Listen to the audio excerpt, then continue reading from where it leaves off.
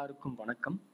என்னுடைய YouTube channel ஒவ்வொருவரும் பார்க்கிறவர்கள் இந்த உலகம் முழுதா இருக்கிற ஒவ்வொருவருக்கும் என்னுடைய வணக்கங்கள். இன்னைக்கு நம்ம பார்க்கக்கூடிய பகுதி என்ன அப்படின்னா ரசமணி. இந்த ரசமணி இதை கற்றுக் கொடுத்தவர் யாரு அப்படின்னா எனக்கு என்னுடைய துரை ஐயா அப்படின்னு சொல்லக்கூடிய ஒருவர். அவர் திருவண்ணாமலையில் வசிக்கிறார். அவர்தான் என்னுடைய குருநாதர். அதாவது ரசமணிக்கு குருநாதர். ரசமணின்னு சொல்றதை விட நம்ம வாழ்க்கைக்கும் நல்ல குருநாதராக எனக்கு இரு- இருந்து கொண்டிருக்கிறார் இப்ப உயிரோடு இருக்கிறார். அவர் ஒரு மிக சிறந்த ஒரு ரசவாதி. அவர்தான் எனக்கு இந்த ரசத்தை குறித்து கத்து கொடுத்து இதை இப்படிதான் பயன்படுத்தணும் அப்படின்னு சொல்லி கொடுத்திருக்கிறார். ரசம் அதாவது மெர்குரி அப்படின்னா என்ன அப்படின்னா அது ஒரு சிவனுடைய விந்து என்று கூறுவார்கள். அந்த விந்து சக்தியை அந்த மெர்குரியை மடிய செய்து மணியாக மாத்தி நம்ம கழுத்தில் அணியும் பொழுது நமக்கு அற்புதமான விஷயங்கள் ஏற்படும். இன்னைக்கு நீங்க இந்த வீடியோல நீங்க பார்க்கக்கூடிய மணி என்ன அப்படின்னா அப்படின்னா தம்பன மணி உண்மையா தம்பன மணி செய்யறதுக்கு ஒரு கொம்ப இல்ல உண்மையா? என் குருநாதர் அதை செய்வார். உண்மையா எனக்கு அது- எனக்கும் தெரியாது தம்பனமணியை பத்தி. என் குருநாதர் மட்டும்தான் அந்த தம்பனமணியை செய்வாரு. அவர் செய்த தம்பனமணி வீடியோ தான் இப்ப நான் உங்க முன்னாடி காணொலியில் போட்டிருக்கேன். நீங்க இதை பாக்குறீங்க அந்த தம்பனமணி தான் கையில காட்டிட்டு இருக்கிற ஒரு முறை. அதுக்கு எவ்வளவு புடம் எவ்வளவு புடங்கள் புடம் போட்டு அதுக்கு சில பாஷான முறைகளை எடுத்து மூலிகைகளை அரைத்து அந்த முறைகள் எல்லாம் அவர் செய்து அந்த தன்மையை காண்பிக்கிறார். இந்த தம்பனமணியை பொறுத்த வரைக்கும் மிக அற்புதமான ஒரு மணி. விந்தை கட்டும் மிக சிறந்த ஒரு முறை. ஏன்னா இந்த இந்த தம்பன மணியை செய்யறதுக்கு இப்ப இருக்க காலகட்டத்துல யாருமே இல்ல.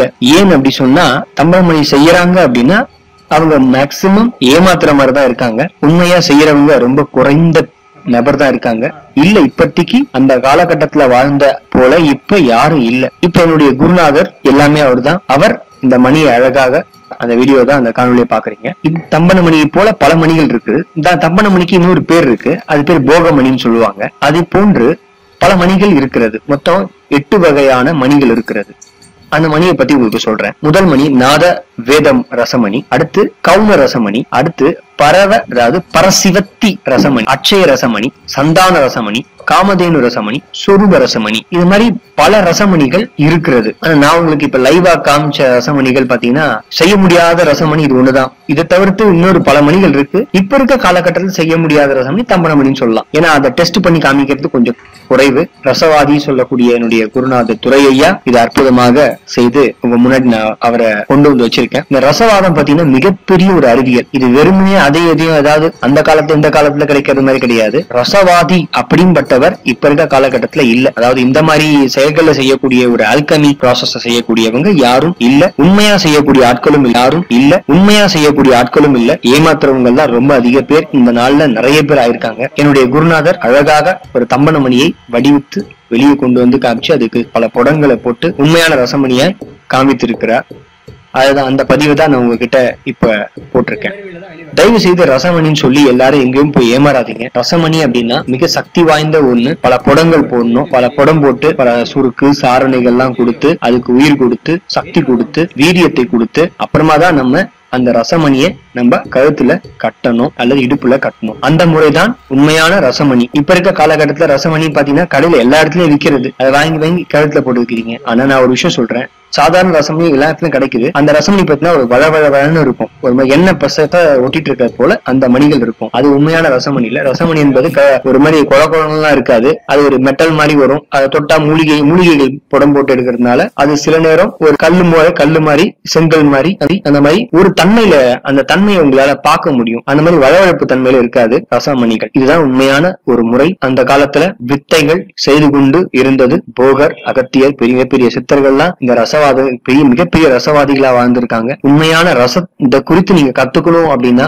முதல்ல ஒரு நல்ல குருவை தேர்ந்தெடுங்க. அவர்கிட்ட போய் இதை கத்துக்குங்க. ஏதோ வீடியோ பாத்துக்கிட்டோ அல்லது எங்கேயோ பாத்து நான் கூட பாத்தீங்கன்னா ஆரம்பத்துல இதை கத்துக்கணும்னு ஆசைப்படும் போது புத்தகம் மூலியமா நிறைய படிச்சு ட்ரை பண்ணேன். படிச்சு அப்புறமா வளர்ச்சி ஒரு வரும்போது யூடியூப்ல எல்லாம் போட ஆரம்பிச்சாங்க. அதுவும் ட்ரை பண்ணேன். எதுவுமே வரல. இந்த வித்தை வரவே வராது. ஆசான் வந்து வீட்டுக்கு வந்து தொட்டு காமிச்சா மட்டும்தான் வரும். என் வீட்டுக்கு அப்படிதான் வந்தாரு எங்க மாஸ்டர் வந்து தொட்டு காமிச்சு இப்படிதான் ரசத்தை இப்படிதான் மடிய வைக்கணும்னு சொன்னாரு. ரசம் அடிஞ்சு போச்சு. அதுக்கு ரசத்துக்கு பல மூலிகை எல்லாம் போட எடு- எடு- துருசு சுண்ணம் நிறைய விஷயங்கள்லாம் இருக்கு. அதை போட்டு இதை செய்யணும் அப்படின்னு சொன்னா அதை செஞ்சோன்னு உடனே அதுல இருக்கக்கூடிய அந்த ஆல்கமிய எங்களுக்கு காமிச்சார். அப்பதான் அதோடைய உண்மைத்தன்மை புரிந்தது. இது முக்கியமானது. அடிக்கடி சொல்லுவாரு எங்க ஆசான் ரசத்தை கொண்டு விளையாடாதுன்னு சொல்லுவார். நான் முக்கியமானது இதுதான். அவர் வீட்டுல பாத்தீங்கன்னா ஒரு நாள்ல ஒரு தங்க தங்கத்தை மாத்திடுவார்.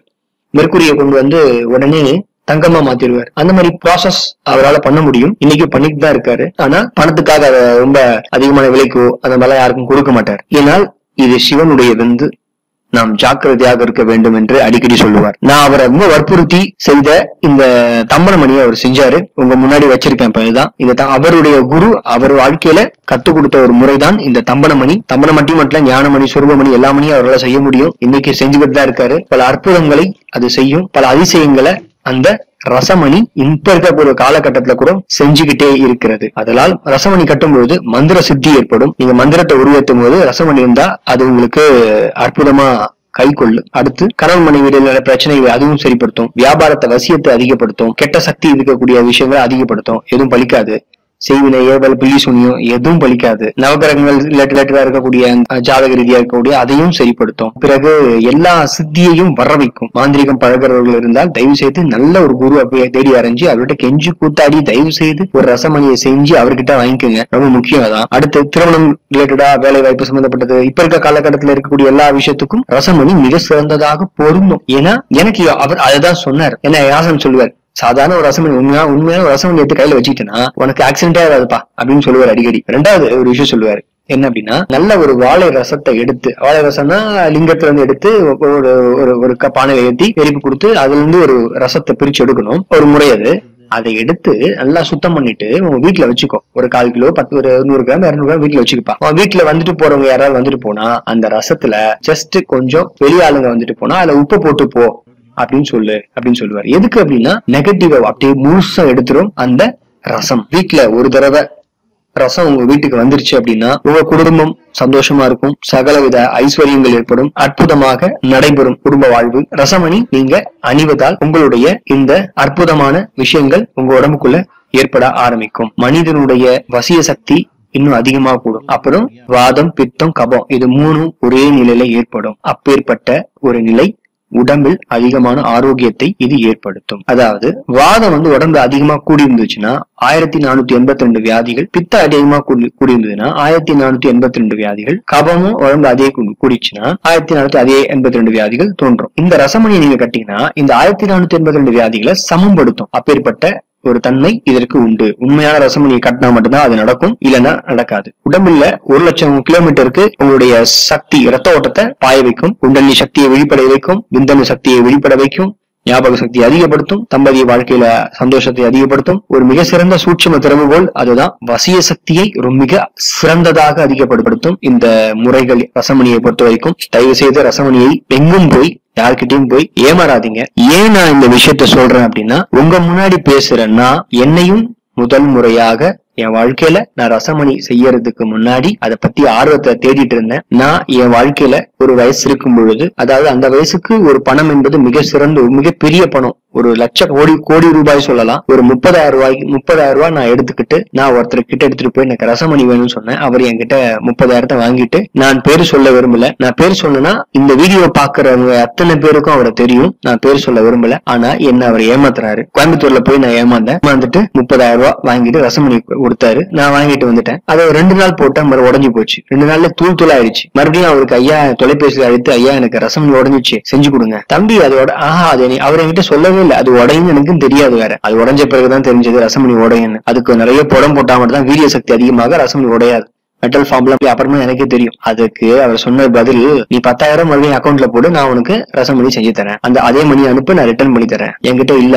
சத்தியம் என் முப்பதாயிரம் அதுக்கு அதுவே பெரிய அந்த அதை முப்பதாயிரத்தை சேர்க்கறதுக்கு ஆறு மாசம் ஆயிடுச்சு எனக்கு. ஆனால் ஏமாந்து போயிட்டு நான் மிகவும் கஷ்டத்தோட இருக்கும் போது இருக்கும் வேலையில நான் அதை பத்தி நினைச்சு நினைச்சு எப்படியாவது நான் ரசமணியை வாங்குறவங்க கூட நான் செஞ்சு தரவன ஒருத்தரா மாறணும்னு சொன்னேன் நினைச்சேன். அதற்கு நல்ல குரு என்னை தேடி வந்தார். அவர் தான் என்னுடைய துரையா அவர் வந்த பிறகு என் வாழ்க்கையில அற்புதமான நல்ல விஷயங்கள் நடைபெற ஆரம்பித்தது. குரு இல்லாமல் எந்த கலையும் வராது என்பது இதுவே சிறந்த சான்று. இதான் முக்கியமான ஒரு கிளை. அவர் வந்தாரு எனக்கு அது வந்துருச்சு. இதுதான். தயவு செய்து யாரும் எங்கும் போய் ஏமாறாதீர்கள். நல்ல குரு கிட்ட போங்க. அவர் தான் உங்கள் நல்ல ரசமணியை செய்து கொடுப்பார். ரசமணியை கட்டினால் அஷ்டமா சித்திகள் ஏற்படும் வசிய சக்தி ஏற்படும் தம்பன சக்தியை ஏற்படும் ஆகர்ஷண சக்தி ஏற்படும் நீங்க எல்லா சக்தி ஏற்படும். அதற்குள்ள மாந்திரிகம் பழகிறவர்களும் ரசவணியை கட்டினா ஆரோக்கியமா இருக்கலாம். அதாவது மாந்திரீக ஆரோக்கியம் ஏற்படும். மிக சிறந்த ஒரு கலை இந்த ரசமணி துறை. நீங்கள் இந்த ரசமணியை எங்கும் ஏமாறா ஏமாறாதீர்கள். தயவு செய்து சொல்லுகிறேன் அற்புதமான ஒரு நிகழ்வு இந்த கலை. ரசவாதிகள் இன்னும் இந்த பூமியில் வாழ்ந்து கொண்டிருக்க இந்த வீடியோவை நீங்கள் பார்த்து உங்கள் கேள்விகளை நேராகவோ அல்லது கமெண்டின் மூலம் தெரிவிக்கவும். பிடித்திருந்தால் லைக் செய்து கொள்ளுங்கள். சப்ஸ்கிரைப் செய்து கொள்ளுங்கள்.